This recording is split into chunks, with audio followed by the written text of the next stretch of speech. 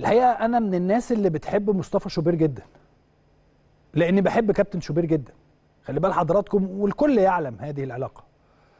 فالفتره اللي فاتت مصطفى شوبير أنا بشوف إن مصطفى من وهو صغير لغاية لما كبر يمكن عدى عليا وشفته كتير.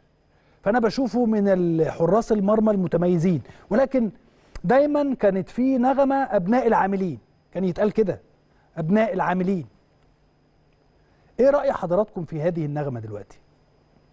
الكلام ده إحنا بنقوله من زمان بينا وبين بعض لكن ما بنطلعش نقوله على الشاشة. ليه ما بطلعش نقوله على الشاشة؟ يقول لك يعني ما هو برضه الناس تقول إن أنت بتطبل لكابتن شوبير مثلا. على الرغم من ما هو في حد بيطبل أو بيبقى آه بيعرض نفسه لانتقاد مثلا يعني عشان خاطر حد؟ طبعا لأ. لكن مصطفى شوبير استحق تحية مئة ألف متفرج من أو مئة ألف مشجع أهلاوي يوم المباراة. مصطفى شوبير شال كورة هي اللي غيرت نتيجة المباراة. أنا ليه بتكلم على مصطفى؟ لأنه مصطفى يستحق إن إحنا نتكلم عنه. يستحق إن إحنا نقول لأنه أنا عارف الفترة اللي فاتت مصطفى كان بيقاسي إزاي لضغوط معينة أو عليه ضغوط معينة بسبب إن والده اسمه أحمد شوبير نجم كبير كان موجود في النادي الأهلي. ولكن مصطفى يستحق كل التحية يستحق كل التقدير. خلانا نبقى مبسوطين وسعداء بالشكل اللي إحنا لما كنت بسمع كابتن أحمد ناجي ولما كنت بسمع كابتن طارق سليمان ولما كنت بسمع كل المديرين الفنيين اللي أو مدربي حراس المرمى اللي كانوا موجودين وبيتكلموا يقولوا إحنا عندنا الشناوي كويس وعندنا مصطفى شوبير كويس وعندنا علي لطفي كويس. كنت ببقى متأكد من هذا الكلام ومتأكد زي ما قلت لحضراتكم إن مفيش حد هيطلع يطبل أو يعني يعرض نفسه للانتقاد عشان خاطر حد. فكنت متأكد من الكلام اللي بيتقال. الكلام ده بيثبت يوم ع... يوم بعد يوم.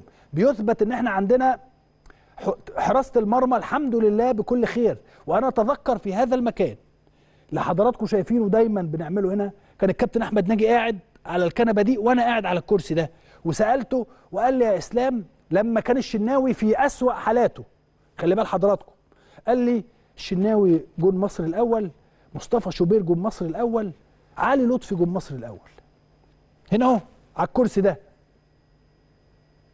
فأنا الحقيقة النهارده لازم أشكر كل اللي خلى مصطفى يبقى متواجد وبهذا الشكل اللي حضراتكم شايفينه. دي مباراة في الدوري لأن الثانية ما لناش حقوق. آخر مباراة في الدوري. فالحقيقة مصطفى يستحق كل التحية ويستحق كل التقدير و... ولكن اللي جاي أصعب. يا درش. اللي جاي أصعب. هتغلط هنقول إن أنت غلطت.